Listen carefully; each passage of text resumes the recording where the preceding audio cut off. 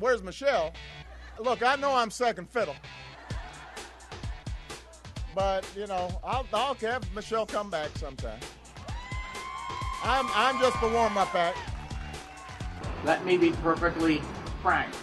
If one of their dogged pursuers will finally catch up, cut the mustard, and be pronounced wiener. Who wrote this?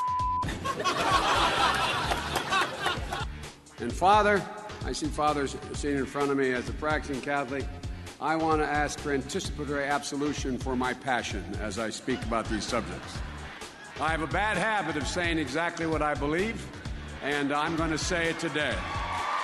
Did you hear what uh, uh, what Dick Armey said? He said, by the way, he says the American dream is no longer owning your own home; it's getting your kids out of the home you own.